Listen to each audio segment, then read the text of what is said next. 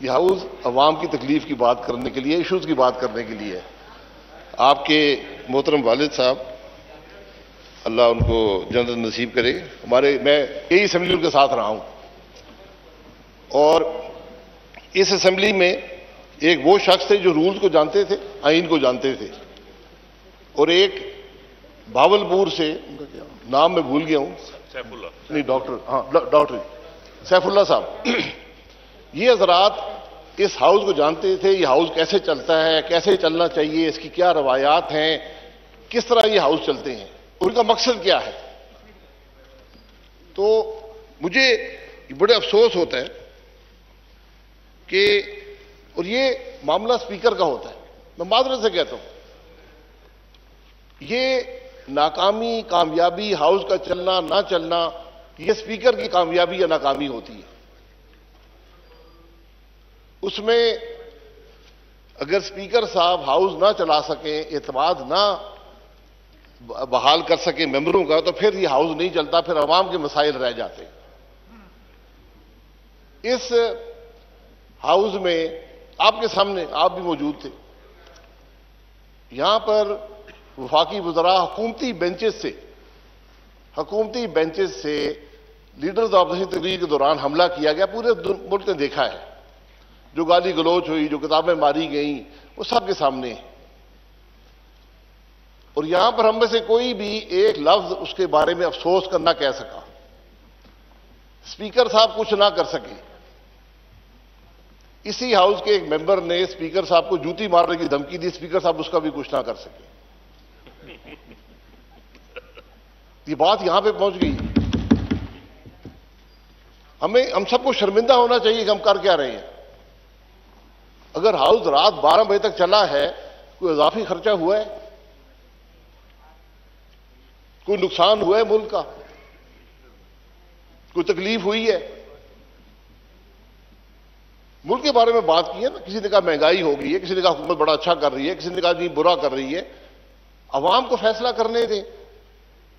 पूरा पूरा साल गुजर जाता है, यहाँ पर अवाम की बात नहीं हो सकती। हाउस में मामलात अपोजिशन लेकर आती है। एडजर्नमेंट मोशन आते हैं। एक एडजर्नमेंट मोशन भी तीन साल में एडमिट नहीं हो सका। उस पर डिबेट नहीं हो सकी है। हम क्या कर रहे हैं? ये ये जो मामलात हैं, ये ये कुर्सी जिसमें आप बैठेंगे अखलाकी ये तमाम कुर्सियाँ, चाहे उधर बैठे हो, यहाँ बैठे हो, वहाँ बैठे हो, इखलाकी बर्तरी की बुनियाद पर चलती हैं। ये कुर्सी आपको कोई इज़्ज़त नहीं देती। आपको कुर्सी को इज़्ज़त देना होती है। ये हम सबकी नाकामी है। कि आज order in the house please आज स्पीकर साहब इस हाउस को चलाने में नाकाम है ना हुकूमत का बेंच सुनता है ना अपोजिशन सुनती है। जब हालात ये हो जाए फिर एक ही बाइज्जत रास्ता रह जाता है। वो अगर आपके वाले साहब ज़िंदा होते तो स्पीकर साहब को ज़रूर बताते। हम बताएँगे तो नाराज़ हो जाएँगे। अब देखिए स्पीकर ये चेयरमैन साहब, मामला यहाँ पर रुकेगा नहीं। ये जो किताब मारी गई, चाहे वहाँ से मारी गई, यहाँ से मारी गई, ये इस मुल्क में जमहूरियत को मारी गई। और आप देखेंगे आप देखेंगे कि एक दिन आएगा, ये टीवी पर ये प्रोग्राम चलेंगे। ये फ़िल्में चलेंगी। जनाब, ये जमहूरियत है। इस जमहूरियत से तो बेहतर आमरीत है। ये कहा जाएगा। आप भी सुनेंगे और मैं भी सुनूँगा। हम चार पाँच दफ़ा सुन चुके हैं। आपने भी शायद दो तीन दफ़ा सुना हो। आज सिर्फ़ कोशिश यहाँ पर ये और मैं एक और बात कहूँगा कि मैं किसी पर इल्ज़ाम नहीं लगा रहा। आप जो अफराद यहाँ हमलावर थे और गालियाँ निकाल रहे थे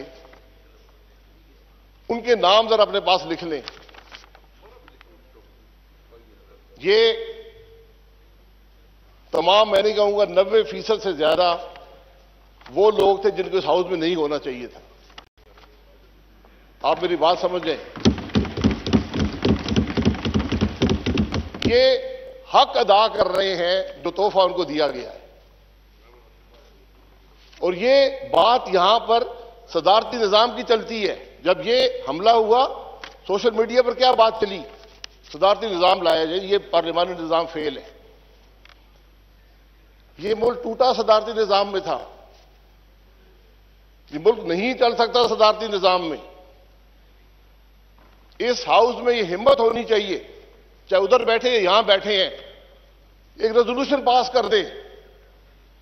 ये सदारती निज़ाम को एक दफ़ा और हमेशा के लिए दफन कर दे इस मुल्क में। हमारा आइन पार्लिमानी है। हमारा आइन पार्लिमानी है। आपने भी ओत उठाया, मैंने भी उठाया कि आइन का दिफा करूँगा। तो जो आइन तोड़ेगा, जो सदारती निज़ाम की बात करेगा, उसके खिलाफ बात करना मेरा फ़र्ज़ है। ये ऑप्शन नहीं है। चाहे आप वहाँ बैठे हो यहाँ बैठे हो। ये ये मामलात हैं। जरा संजीदगी से इन मामला को देखने की ज़रूरत है। मैं स्पीकर साहब, बजट पढ़ा है। कुछ तजर्बा अल्लाह ताला ने दिया है इन हाउसेज में बैठने का, बजट पढ़ने का। ये पहली बजट स्पीच थी, पहला बजट है, जिसमें गरीब आदमी का ज़िक्र तक नहीं है। आप पूरी किताबें देख लें। आपको गरीब आदमी की बात नहीं मिलेगी। बात ही कर देते यार, झूठ ही बोल देते। कि हम रिलीफ देंगे। आज मुल्क का सबसे बड़ा मसला क्या है? क्या वो मसला ये है कि खातन कपड़े ठीक नहीं पहनती हैं तो मर्दों के जज्बात उभर जाते हैं? ये हमारा मसला है। आज मुल्क का मसला महँगाई है। वज़ीर खजाना ने महँगाई की बात की? किसी और वज़ीर ने महँगाई की बात की? क्या मुल्क में महँगाई नहीं है? पंद्रह परसेंट, पंद्रह फ़ीसद सालाना दही इलाके में आपका ताल्लुक भी दही इलाके से है। हम सबका ताल्लुक दही इलाके से है। पंद्रह फ़ीसद सालाना दही इलाके में अशियाए खुर्द नोश की कीमत बढ़ रही है। इस मुल्क में कभी दो फ़ीसद से ऊपर नहीं गई थी। किसी को फ़िक्र है? किसी को परवाह है? मैं दूसरे खजाना से पूछना चाहूँगा क्या आप आटे की कीमत कम कर सकते हैं? क्या आप चीनी की कीमत कम कर सकते हैं? क्या आप घी की कीमत कम कर सकते हैं? क्या आप पत्ती की कीमत कम कर सकते हैं? क्या आप दूध की कीमत, दूध तो बढ़ा दिया, दूध पर टैक्स लगा दिया वज़ीर खजाना ने? दाल की कीमत कम कर सकते हैं? बिजली की कीमत कम कर सकते हैं? गैस की कीमत कम कर सकते हैं? पेट्रोल की कीमत आप कम कर सकते हैं? पेट्रोल तो अगर ये बजट के अहदाफ पूरे होंगे तो कम से कम तीस रुपए तो यहीं से बढ़ेगा। मैं नहीं कह रहा हूँ किताब, ये ये किताब कह रही है। तीस रुपए पेट्रोल और डीजल बढ़ेंगे। तो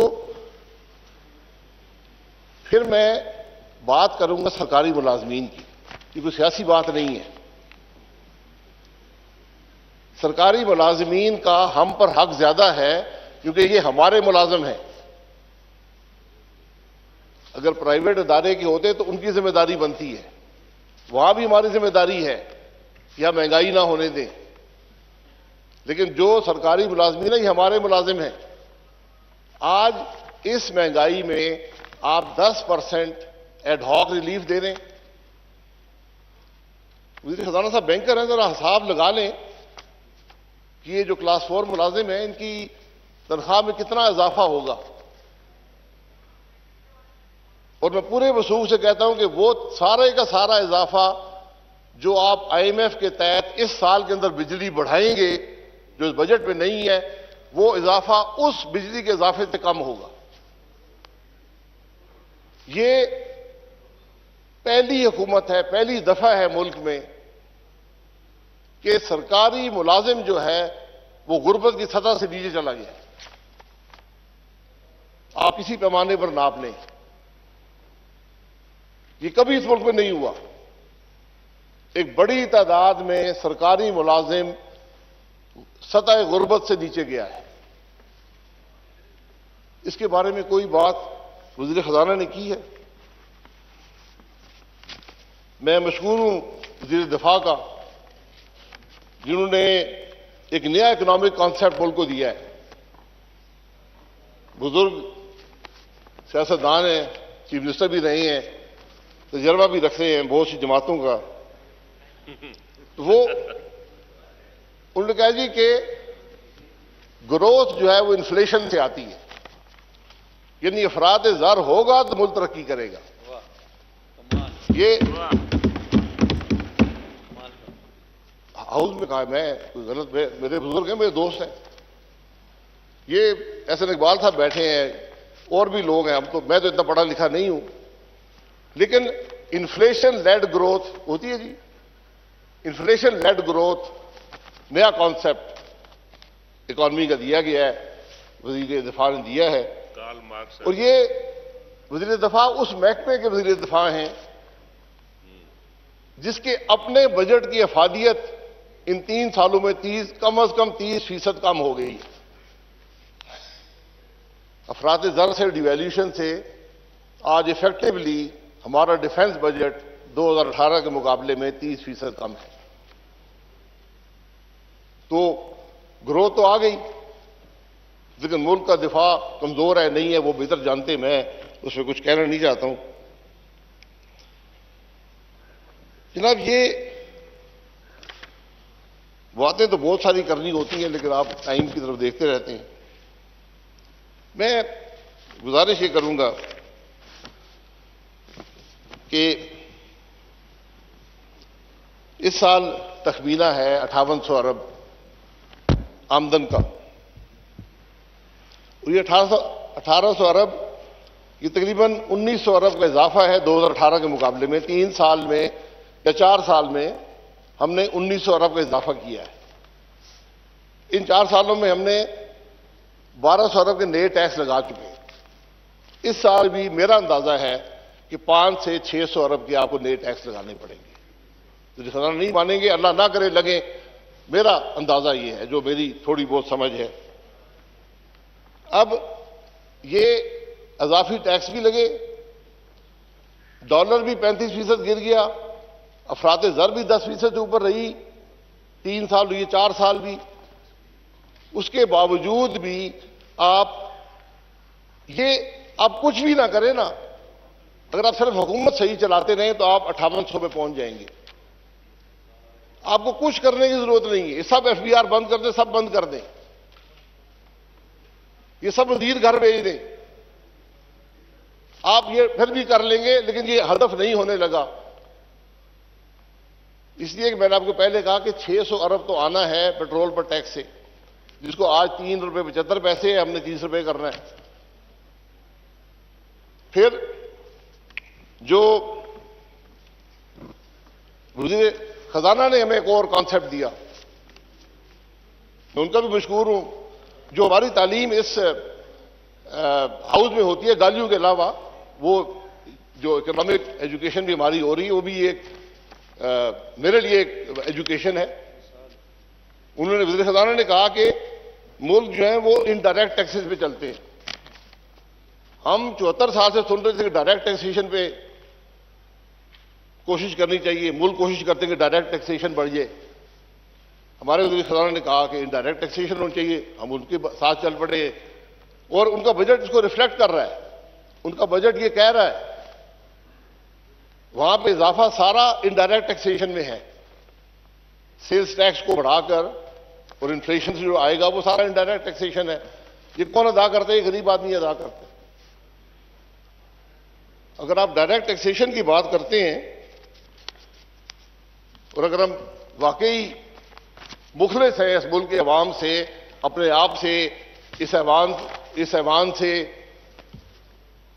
तो फिर मैं वज़ीर खजाना से गुजारिश करूँगा कि वो अफराद जो इस हाउस से उठते हैं, जिनको मैं रोज देखता हूँ, यहाँ से उठते हैं, पाँच करोड़ की गाड़ी में बैठते हैं, पचास करोड़ के घर में जाते हैं। जिनके बिजली के बिल तीन तीन लाख रुपए महीना है, एक रुपया टैक्स नहीं देते। क्या ये वज़ीर खजाना का बजट है? इनडायरेक्ट टैक्सेशन जिस मुल्क की काबीना के टेबल पर बैठे हुए लोग टैक्स ना देते हो, इस हाउस में बैठे हुए लोग टैक्स ना देते हो, जो अपने लाइफ स्टाइल को जस्टिफाई नहीं कर सकते कि वो पैसे कहाँ से लाते हैं खर्च करने के लिए कि जो पैसा आप कमाते हैं, उसमें एक हिस्सेदार हुकूमत पाकिस्तान होती है। और ये कोई ऑप्शन नहीं है कि मेरी मर्ज़ी है टैक्स दूँ, मेरी मर्ज़ी है टैक्स ना दूँ। ये कानून है। आप किताब मंगा लेना। इस मुल्क में सिर्फ़ एक तबका है जिसके टैक्सेस पब्लिक किए जाते छपते गैजेट ऑफ़ पाकिस्तान में। दो पार्लियामेंटेरियन है। ना किसी जज के छपते, ना किसी जर्नैल के छपते हैं न किसी कारोबारी आदमी के छपते हैं न किसी ब्यूरोक्रेट के छपते। हैं कि सिर्फ़ मैं और आप जो है, हमारे नाम के साथ लगाया जाता है। इस आदमी ने ये टैक्स दिया है। तो अगर हम खुद टैक्स नहीं देंगे तो हम किसी पर टैक्स कैसे लगा सकते हैं? ये बुनियादी असूल होता है टैक्सेशन का। जिस पार्लियामेंट के मेम्बरान खुद टैक्स ना देते हों, वो कैसे टैक्स लगाएँगे इस मुल्क के अवाम पर? उनको क्या कानूनी अखलाकी जवाब उनके पास है टैक्स लगाने का? कोई जवाब नहीं है। ये ये ये चीज़ें, जब आप समझेंगे, फिर ये मुल्क आगे बढ़ेगा। तो मेरी वजीरस्तान गुजारिश है कि हुकूमती बैंक छोड़ दें अपोजिशन शुरू कर ले। या कि हर आदमी को बुलाकर एफबीआर पूछे कि यार ये तुम्हारे खर्चे ये हैं और पाकिस्तान में हर आदमी के खर्चे विजिबल हैं, ये भी मैं आपको बता दूँ। थोड़ी सी तकलीफ़ करनी पड़ती है। हर आदमी क्या खर्च करता है, बिजली का बिल देता है, क्या उसके खराजात हैं, ये हुकूमत के पास रिकॉर्ड मौजूद है। तो पूछिए जरा इस इस ऐवान के लोगों से कि आप टैक्स देते हैं या नहीं देते, और नहीं देते तो क्यों नहीं देते? और अगर नहीं देते तो आपको क्या जवाब है दूसरों पर टैक्स लगाने का? क्या अखलाकी आपके पास जवाब है? मैं मुल्क के बारे में चंद मोटी मोटी बातें कर दूँगा। हमारा मुल्क 313 अरब 2018 में कमाता था। इस साल दो सौ छियानवे कमाएगा। ये हमारी कामयाबी है। कि तीन साल के बाद अगर मैं आज के जो नंबर्स हैं, सबको कबूल कर लेता हूँ, जो काबिल कबूल नहीं है, फिर भी कबूल कर लेता हूँ तो 2018 में पाकिस्तान की जीडीपी 313 अरब थी, आज दो सौ छियानवे अरब है। अगर उसी सतह पर हम तरक्की करते रहते, आज 370 अरब होती। ये हमने कमाया है पिछले तीन साल में। अगर इस साल के अहदाफ हम पूरे करते हैं, ये जाके 313 अरब के करीब होगी। यानी चार साल के बाद हम उसी आमदन पर खड़े होंगे, जहाँ पर हम चार साल पहले थे। जिस तरह हमारे क्लास फोर के मुलाजिम हैं, आज उनकी कुत खरीद जो है, वो चार साल से कम है। चार साल पहले से कम है। यही मामला आज उनके हैं। वजी खजाना ने हमें नहीं बताया गर्दशी कर्जा क्या क्या है।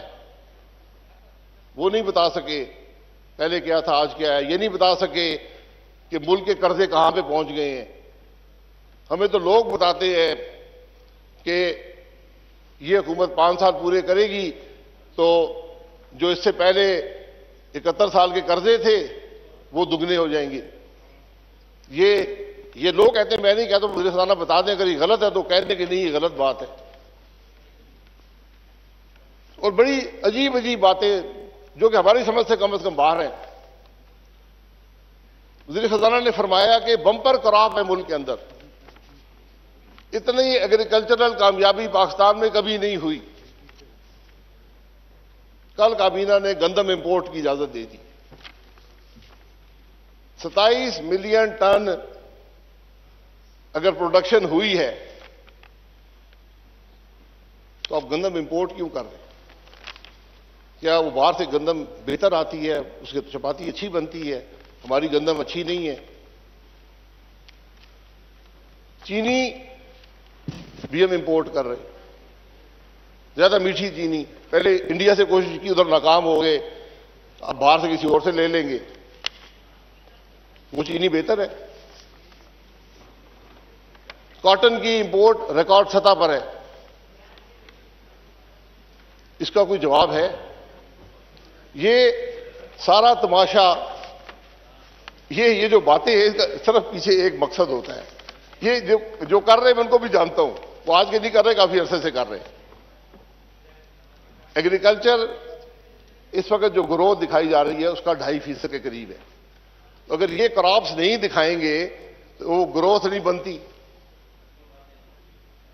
तो अब ये क्रॉप्स दिखाकर, लेकिन उसकी हकीकत जब आपको शॉर्टेज आ गई इंपोर्ट करना पड़ गया, अगर मुल्क में बम्पर क्रॉप्स होते तो चीनी की कीमत भी गिर जाती और आटे की कीमत भी गिर जाती। लेकिन यहाँ कीमतें भी बढ़ रही हैं और इंपोर्ट भी कर रहे हैं और हैं बम्पर क्रॉप ये ये कामयाबी दुनिया में और मुल्क हासिल नहीं कर सका, हमने कामयाबी हासिल की है। कि ये सोना उगलती जमीनें भी हमारा पेट ना भर सकी, बाहर से इंपोर्ट करना पड़ा। ये ये मामलात मुल्क के,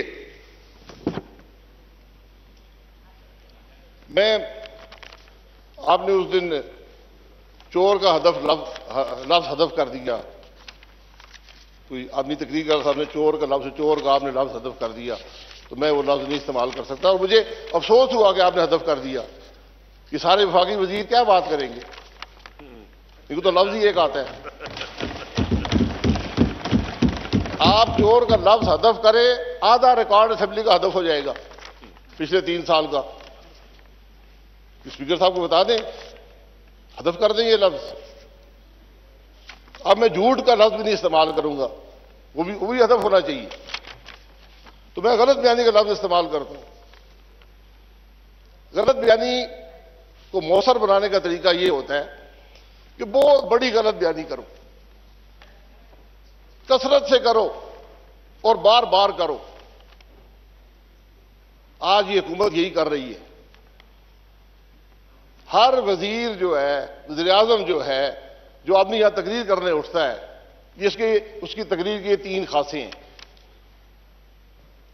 गलत बयानी करो, बड़ी करो, कसरत से करो और बार बार करो। और फिर इसका असर यह होता है कि आदमी खुद यकीन करना शुरू कर देता है। खुद यकीन करना शुरू, अपने, अपनी गलत बयानी पर खुद यकीन करना शुरू कर देते हैं।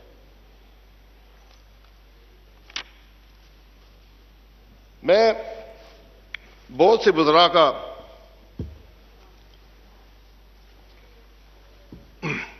यहाँ पर बुजरा ने एक एक घंटे की तकरीरें की हैं।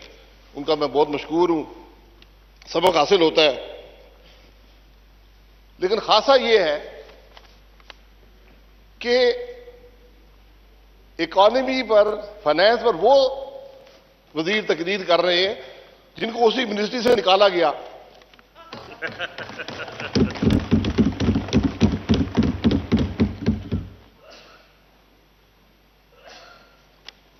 जिस मिनिस्ट्री से आप नाकामी पर निकाले गए, उसके बारे में हमें लेक्चर दे रहे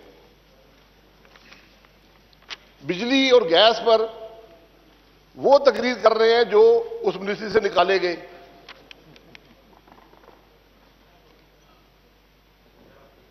भाई, हमने तो नहीं निकाले यार। आपके वजी अजम ने आप लोगों को नैली में निकाला है। लेकिन आकर हमें यहाँ लेक्चर देते हैं। तीन साल, तीन तीन साल ये लोग वज़ीर रहे हैं। और यहाँ पर आकर वही तकरीरें जो पहले दिन करते थे, आज भी वही कर रहे हैं। तीन साल में कुछ सीखा है आपने?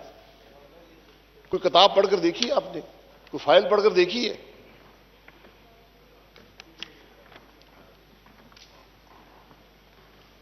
तो मैं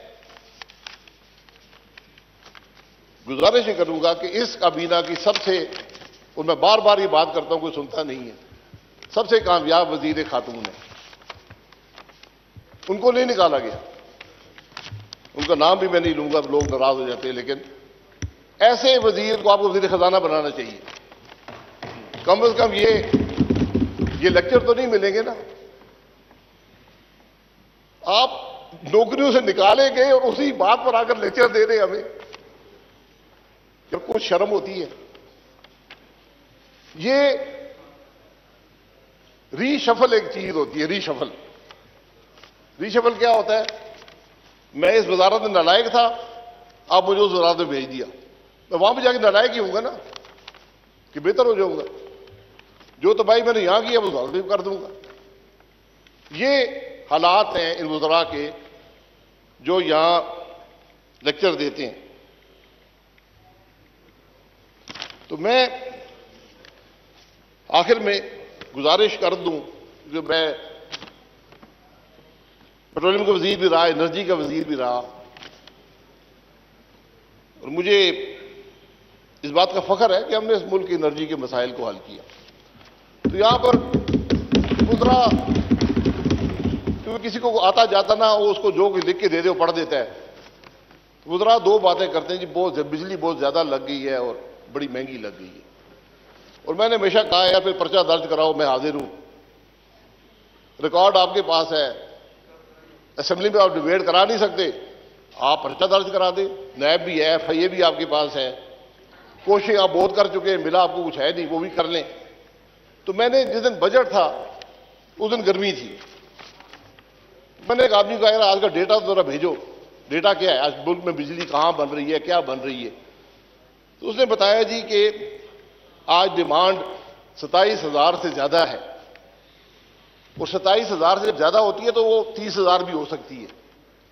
मुल्क में चौबीस हज़ार बिजली बन रही है उस दिन।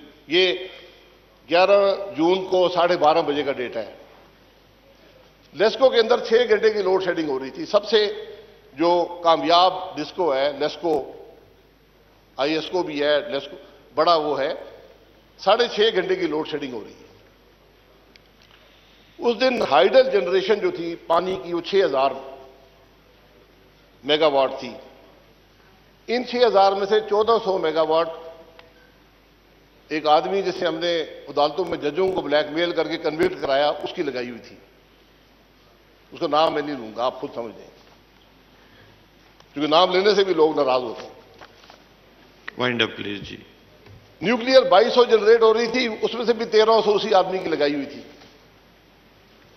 मैं या एलएनजी बड़ी महँगी हो गई बड़ी महँगी एलएनजी ले ली है जी। टर्मिनल बड़े महँगे लग। गए लगे गए यार पर्चा दर्ज करें उस दिन बत्तीस सौ मेगावाट बिजली वो थी जो इस मुल्क में एलएनजी ना होती तो ना चल रही होती। गैस नहीं थी। मैं ना, नाम गिन देता हूँ। नंदीपुर कैपको रौश जो हमारे वज़ीर एक्सपोर्ट कॉमर्स की है। फौजी कबीर वाला ओरिएंट पावर जो सबका वज़ीर पेट्रोलियम की है सैफ सैफायर हॉलमोर ये बत्तीस सौ मेगावाट उस दिन चल रही थी। अगर एलएनजी ना होती तो ना चलती। तैंतीस सौ मेगावाट तीन बड़े प्लांट जो हमने लगाए एलएनजी पर चलते हैं, वो बना रहे थे। विक्की हवेली बहादुर शाह, बलोकी।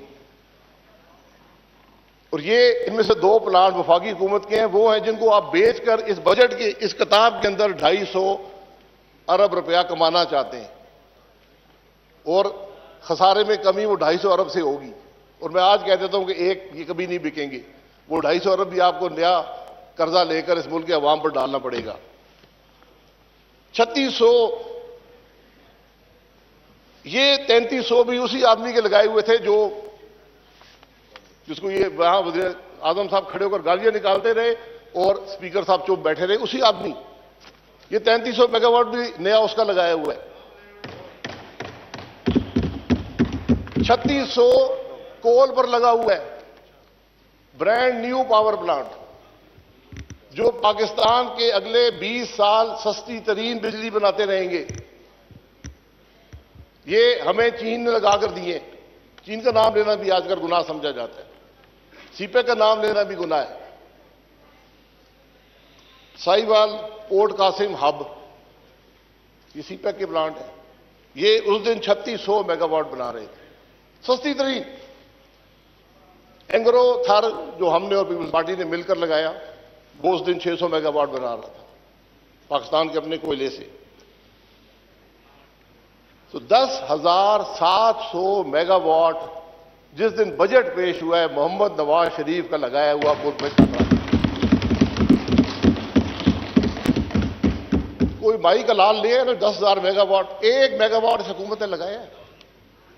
आज भी शॉर्टेज है। अगर ये दस हज़ार मेगावाट ना लगा तो बारह घंटे की इजाफी लोड शेडिंग मुल्क में होती।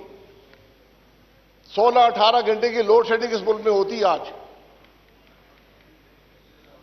कोई मेडल नहीं चाहिए, हमारा काम था। हमने करके दिया है। और मुझे अफसोस इस बात का है कि वहाँ उस दिन इसकी क्या वजूहत है पता करना चाहिए। गुद्दू के अंदर एक पावर प्लांट है सेवन फोर सेवन उसे कहते हैं जो कि पीपल्स पार्टी के दौर में शुरू मुशरफ दौर में शुरू हुआ इनके दौर में हमने मुकम्मल किया। सबसे सस्ती तरीन बिजली पाकिस्तान में बनाता है क्योंकि उसकी अपनी गैस है जो बहुत सस्ती है। वो उस दिन बंद था। वाइंड अप प्लीज़ क्यों बंद था इसका कोई पता नहीं है। तो जो सस्ते प्लांट थे जिसमें मुजफ्फरगढ़, हब और जामशोरो, जो बकोल गुजरा के सस्ते प्लांट हैं, वो उस दिन बंद थे। क्यों बंद थे? ये किसी को इल्म नहीं है। मैं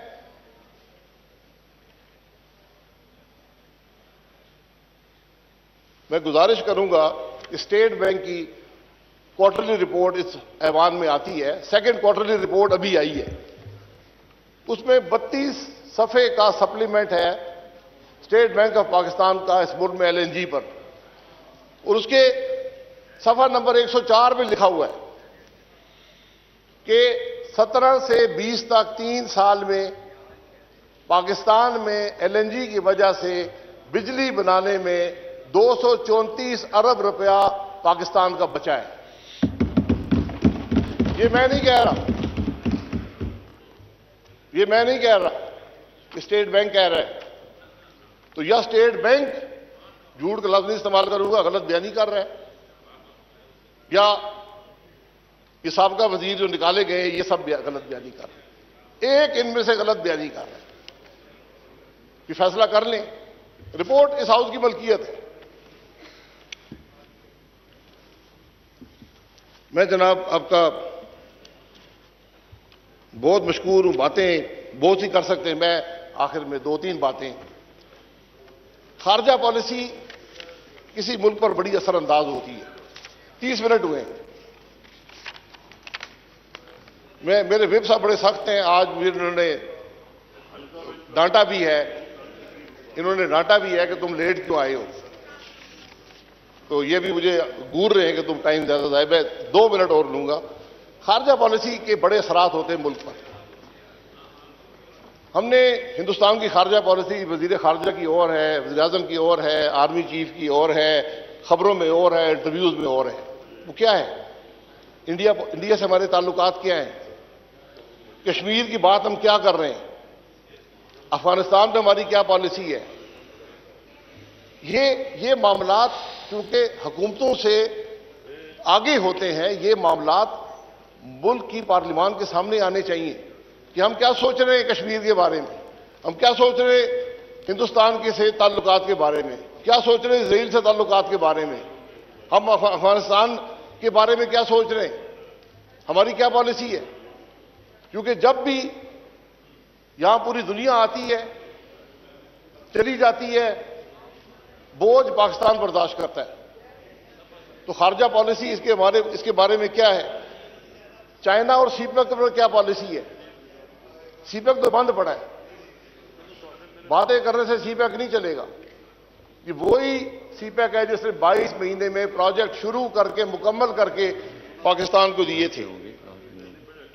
मैं आखिर में जो कल की बात, मुल्क की खारजा पॉलिसी हमें फॉरेन मीडिया के इंटरव्यू से पता चलती है। या फॉरेन मीडिया में जो हम आर्टिकल लिखते हैं, फॉरेन मीडिया से पता चलती है। अब हम सब फ़ौरन अखबार पढ़ने शुरू कर दिए मुल्क के बारे में पता करने के लिए। तो परसों एक बड़ी तशवीशनाक बात सामने आई कि हम ये समझते हैं कि अगर कश्मीर का मसला हल हो जाए तो हमें एटमी सलाहियत की ज़रूरत नहीं है। ये काम ख्याली छोड़ दें। मेरी ये गुजारिश होगी, ऐसी गैर माकूल बातें, खाम ख्याली, ये बातें करनी ही नहीं चाहिए। सोचना दूर की बात है। ये जो सोच इसके पीछे कार फरमा है अगर हाउस में बयान कर दें। यह हाउस इसीलिए, मैं इसीलिए कहता हूँ, जो मसला मुल्क का हो, इस हाउस में आकर बयान कर दें। रात बारह बजे तक चलाते रहे ना। थोड़ी सी तकलीफ़ हुई है, साहब को बैठना पड़ा है, हम भी बैठे हैं, आप भी बैठे हैं। बारह बजे तक हाउस चला लें, मुल्क की खारजा पॉलिसी बता दें। ये आज इस मुल्क के हकाइक हैं। अल्लाह ताला उनकी हमारी रहनमाई फरमाए। थैंक यू जी। थैंक यू जी जनाब मोहम्मद सरवर खान साहब जी। Three minute.